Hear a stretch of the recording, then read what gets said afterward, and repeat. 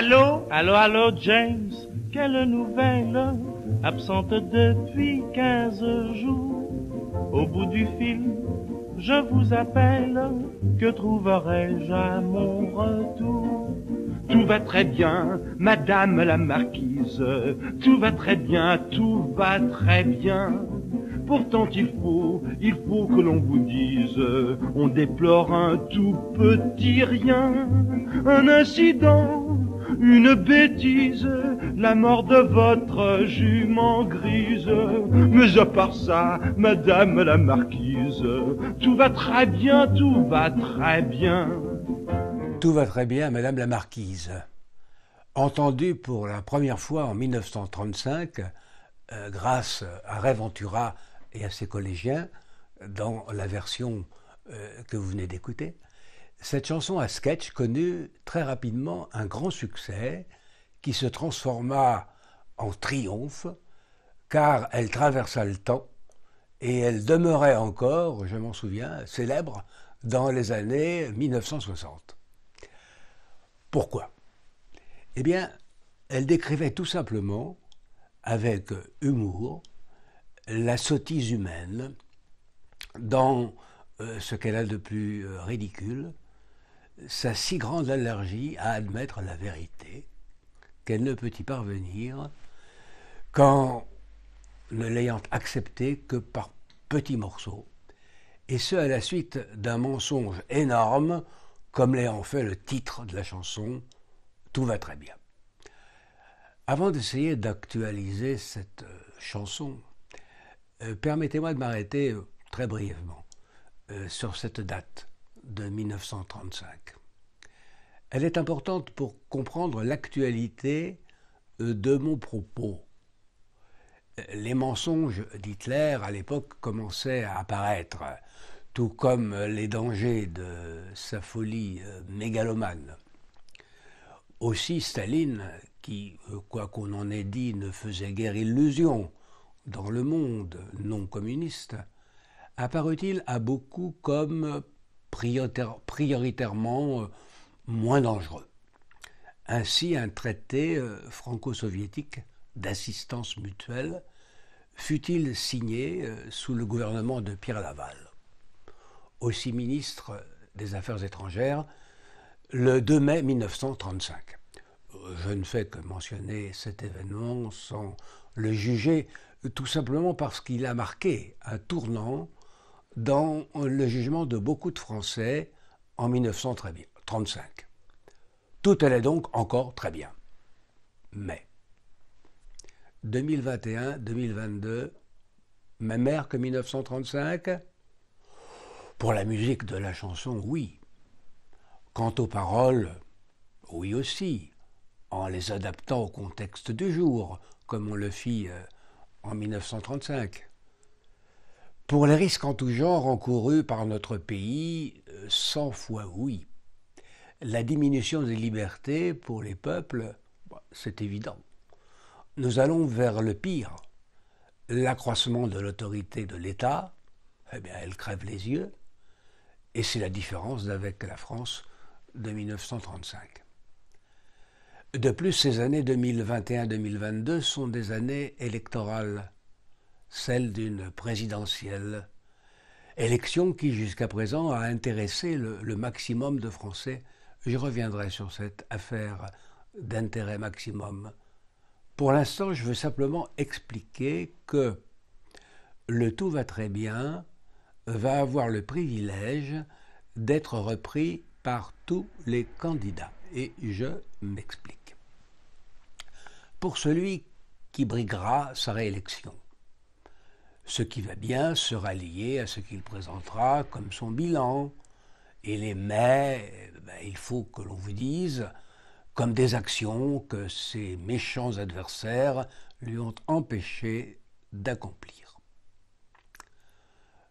Quant aux concurrents, eh bien, ils mettront le tout va très bien au futur à celui de leur élection salvatrice.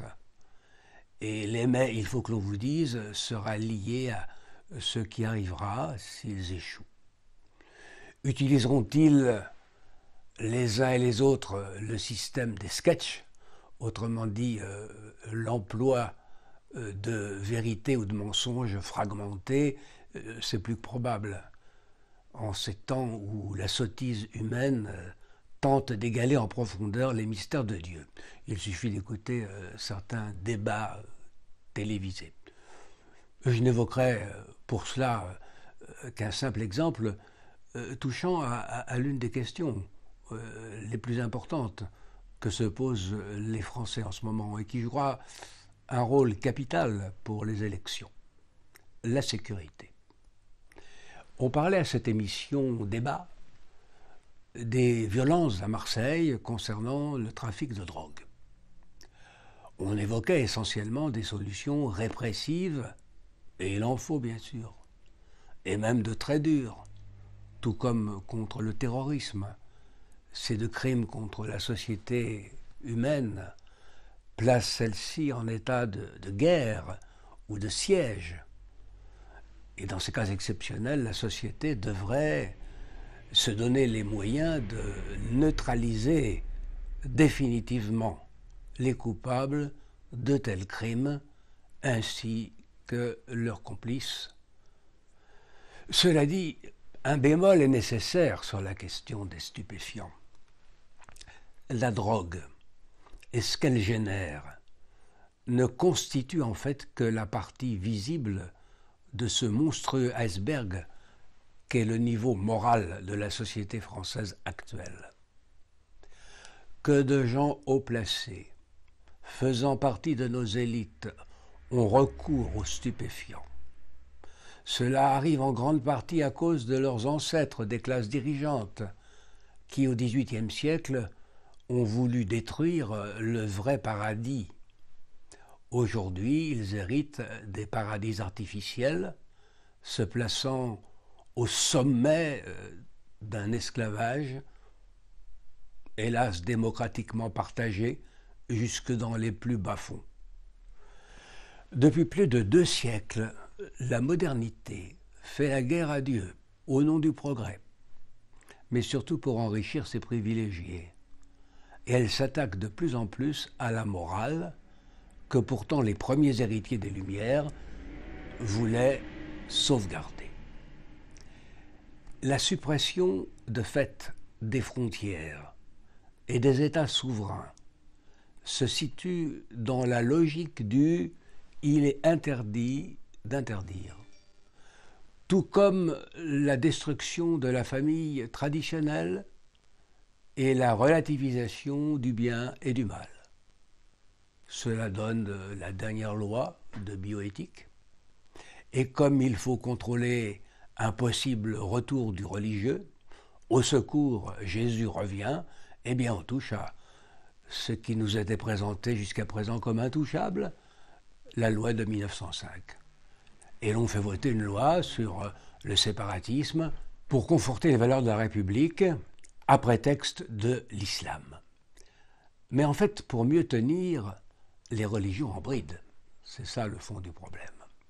Car si nos dirigeants avaient sincèrement voulu régler les questions concernant l'islam, ils se seraient d'abord tournés vers les concitoyens français qui se réclament de cette religion et auraient loyalement discuté avec eux, d'une part en commençant au nom de l'ordre public par vérifier qu'ils étaient convenablement représentés, et d'autre part, en proposant de travailler avec eux en s'appuyant sur la loi de 1905 réglementant dans la vie du pays euh, l'organisation séculière des trois autres religions pratiquées par leurs compatriotes. Au lieu de cela, ils ont tout embrouillé, en modifiant d'une manière autoritaire et ambigu les lois sur les associations. Alors j'adhère totalement aux craintes exprimées par écrit par les autorités catholiques, protestantes et orthodoxes de France. Avant le vote de la loi, dès mars 2021, ils écrivaient, je cite, Par sa logique interne, quoi qu'il en soit des intentions. ce projet de loi risque de porter atteinte aux libertés fondamentales que sont la liberté de culte, d'association, d'enseignement et même de liberté d'opinion, malmenée par une police de la pensée qui s'installe de plus en plus dans l'espace commun. Fin de citation. Les préfets de la République voient donc leur rôle considérablement accru dans la vie des religions en France. Il est vrai que Napoléon appelait ses évêques, ses préfets violés, mais c'était en riant. Montée en puissance de l'autorité de l'État. Comme en 1935 Sans doute. Sauf qu'en 1935, ce n'était qu'à Berlin et à Rome. Paris attendra 1940. Aujourd'hui, en 2021, je ne parlerai pas encore pour la France de dictature sanitaire, bien que nous nous en rapprochons, mais d'autoritarisme sanitaire. Mais c'est tout de même très grave, parce que dans notre pays, le bien-être sanitaire avait toujours été lié à, la confiance et non à la peur et à l'intimidation. Si le gouvernement en est arrivé au pass sanitaire, c'est parce que depuis le début de la crise, il a multiplié euh, les incohérences et interdit pratiquement les traitements de la maladie. Alors jusqu'à prétendre, avec les médecins qui sont à son service, et ce contre des évidences dont j'ai été le témoin, que ces traitements n'existaient pas. Comment veut-il alors qu'on ne le soupçonne pas de toutes sortes de sombres calculs ou projets concernant ces vaccins? La confiance se mérite, elle ne se décrète pas. Cela dit, la peur a en France beaucoup de beaux jours devant elle. Le dernier discours du président l'a prouvé, car c'est par crainte de ne pas pouvoir profiter pleinement de leurs vacances que beaucoup de Français euh, sont allés se faire euh, vacciner je n'ai pas l'impression que cela ait diminué la circulation du virus. D'après ce que j'ai entendu, euh, y compris euh, des voix officielles. On se bat à coups de statistiques et de chiffres qu'on se garde bien d'expliquer. Et cela suscite encore plus de confusion, de peur et de sentiments de complotisme. Et l'on se refuse toujours de parler de traitement. On passe sous silence les Covid longs, allant jusqu'à faire douter les patients de leur maladie. Et on ne les comptabilise pas, puisqu'ils ne sont pas malades, du moins aux yeux de la faculté. Alors oui, euh, tout va très bien dans les relations avec le Covid. Il semble que notre président tel l'empereur Constantin à la bataille du pont de Milvius en 312 après Jésus-Christ, ait entendu une voix venue du ciel, par ce signe tu vaincras. Mais apparemment, ce n'est pas le chrisme qu'il vit, mais un passe sanitaire. Est-ce que cela aura une incidence sur la popularité de l'élection présidentielle et sur la sienne? Ce n'est pas sûr.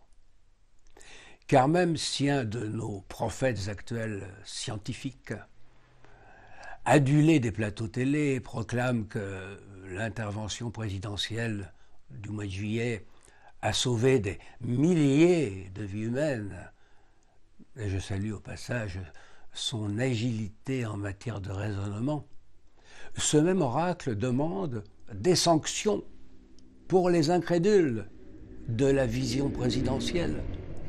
Et plus précisément ceux qui ne seront pas vaccinés. Lui-même et ceux qui l'écoutent devraient prendre garde à l'exaspération des Français.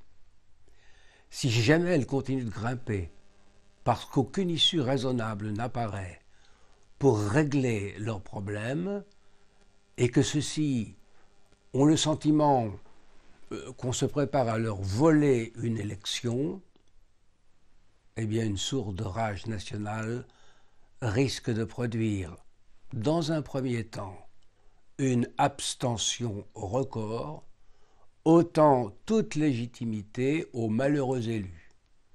C'est le dernier tour pacifique que le peuple français peut jouer à ceux qui lui donneront l'impression qu'il se moque de lui. Avant de réactualiser ces vieux tours sinistres du passé. La marquise se trouvera alors tout d'un coup face au dernier couplet de la chanson, et il y a fort à parier qu'à son âge, elle puisse le supporter. Pauvre France. Comment cela s'est-il produit? Eh bien voilà, Madame la Marquise, apprenant qu'il était ruiné, à peine fut-il revenu de sa surprise, comme si le marquis s'est suicidé. Et c'est en ramassant l'appel qu'il renversa toutes les chandelles, mettant le feu à tout le château qui se consuma de bas en haut. Le vent soufflant sur l'incendie le propagea sur l'écurie. Et c'est ainsi qu'en un moment on vit périr votre jument, mais à ça, Madame la Marquise, tout va très bien